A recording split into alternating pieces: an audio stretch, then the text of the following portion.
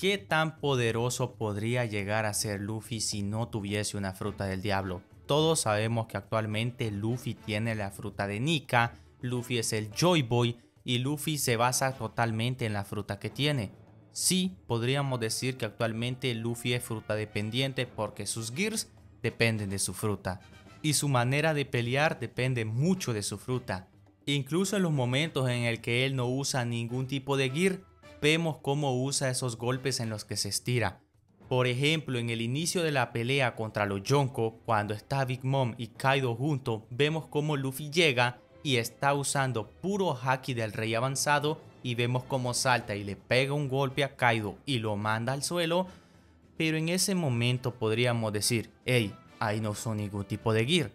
Pero si le ponemos atención, estiró la mano para alcanzar con mucha velocidad el cuerpo de Kaido. Entonces al final sí está usando su fruta. Pero entonces regresamos a la pregunta anterior. ¿Qué tan poderoso sería Luffy si no tuviese su fruta del diablo? Pues la verdad es que esto es trampa. Al preguntar qué tan poderoso sería Luffy sin su fruta, estamos suponiendo que tenemos a Luffy actual y le quitamos su fruta. Y en ese momento, pues sí, Luffy baja un montón su nivel de pelea porque sí, tiene haki, tiene haki avanzado, pero sin su fruta, sin su estilo de pelea, pues claro que va a bajar muchísimo. Claro que si actualmente tomamos a Luffy que está en EG y le quitamos su fruta y solo le dejamos con su haki, yo diría que bajaría muchísimo, muchísimo su nivel. Yo lo compararía a Sanji, por ejemplo. Yo creo que Luffy tendría un nivel similar a Sanji o un poquito más alto. Pero claro, eso sería una reducción abismal. Pero es que esto es un poco trampa porque simplemente le quitamos su fruta como tal y no estamos pensando en lo que realmente pasaría. Y es que a qué me refiero. Si Luffy no tuviese fruta del diablo, es diferente a si Luffy le quitamos la fruta del diablo. ¿En dónde está la diferencia? Que si se la quitamos, le quitamos todo actualmente. Pero si Luffy no hubiese tenido fruta del diablo desde el inicio, sería un tema diferente porque entonces Luffy se hubiese acostumbrado a pelear sin fruta. Luffy hubiese armado su propio estilo de pelea en donde su fruta no tiene nada que ver. Entonces, Luffy desde niño sin fruta podría haber alcanzado el mismo poder que tiene ahora. Yo creo que es complicado decirle una respuesta como tal, pero yo me atrevería a decir que Luffy sí podría llegar a obtener un poder increíble. Creo que si los comparamos, Luffy inicia sin fruta y Luffy con fruta, claramente que Luffy con fruta, el Luffy con el Gear 5 sería más poderoso.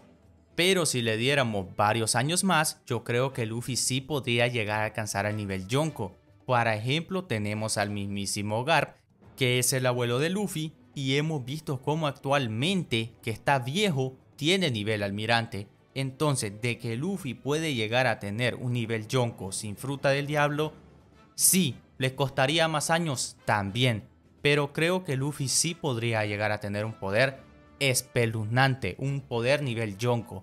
Si Luffy hubiese iniciado su camino, el que conocemos, el que todos vimos, sin ningún tipo de fruta, sin ningún tipo de logia, paramecia o Zoan, Luffy actualmente tendría un poder muy elevado. No sería nivel Yonko, pero yo creo que como mínimo podría rondar al nivel de Sanji, pero como Luffy tiene Haki del Rey avanzado podría ser hasta más.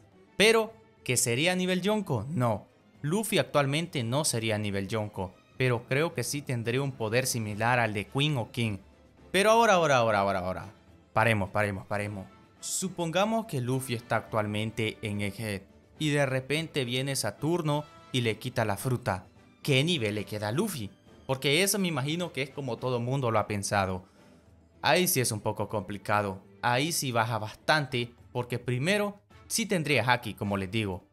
Pero no tendría ningún estilo de pelea. Ya no podría estirar su brazo. Ya no podría tirar esos golpes desde el cielo que hasta juego agarran. Ya no podría hacer nada de eso, ya no podría volar. Entonces, ¿qué nivel le quedaría? Yo creo que en el momento en que le quite la fruta, Luffy tendría un nivel muy bajo. Por mucho que tenga Haki del Rey avanzado, no tendría ni forma de pelear. Sería prácticamente un niño con poderes pero que no sabe cómo usarlos. Ahora, si le quitas la fruta y le das unos 3 meses para que entrene como una persona normal, ahí otra vuelta Luffy vuelve con sus poderes increíbles. Ahí creo que sí, volvería a estar como en un nivel Katakuri, un nivel hasta un poco superior, pero claro, tendrías que dejarle un poco de espacio para que entrene. Así que Luffy no es tan inservible como ustedes creen. Sí, Luffy es fruta dependiente para llegar al nivel Yonko, pero si le quitamos su fruta no es que sería un inservible, no es que sería un uso, no. Tampoco es de aquí de insultar a Luffy, ¿eh? Porque si vemos, Luffy sí, es fruta dependiente como les digo, pero Luffy ha trabajado excesivamente sus hakis. Así que Luffy, inservible, inservible, no quedaría, ¿eh? Tampoco, ¿eh? Tampoco. O no sé, tal vez yo estoy equivocado, no sé. Así que los invito a ustedes que me dejen en los comentarios cuál creen que sería el poder de Luffy sin fruta. Si llegaste hasta aquí, por favor suscríbete y si llegaste hasta aquí significa que te gusta mi contenido. Así que aquí te voy a dejar más videos para que sigas viendo. Nos vemos en el siguiente video, gente.